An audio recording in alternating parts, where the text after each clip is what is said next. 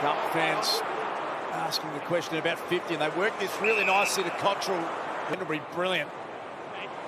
He's been outstanding early in the driving tackle. Early in the game, especially where they're coming up at the defence and going straight through them.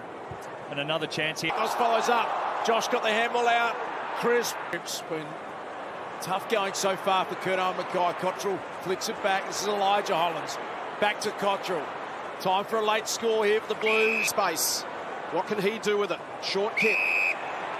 Curnow at the top of the square. Me. The lead from Cripps. Ground ball to be won. It's pinballing around Cottrell. Nice mark taken by Saad. Awesome risk in it. Elliott's eyes lit up. Cottrell did